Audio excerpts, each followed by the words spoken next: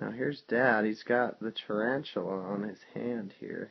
One of the most favorite gifts I got. I have this tarantula. Do I act afraid? No. No. I have no fear of this arachnid. All I know is that the animal and me are bonding. there it is. And uh, here we are. You know, David has actually held it. Here, I'll get him. Uh, I'll get him moving a little bit.